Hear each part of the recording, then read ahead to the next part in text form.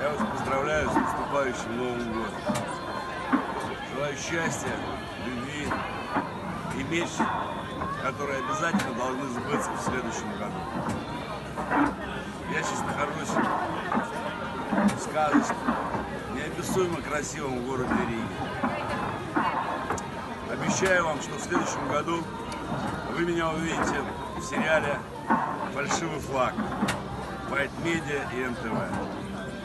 Еще раз счастья в новом году, чтобы все мечты сбылись. С уважением, ваш Максим Дрозд.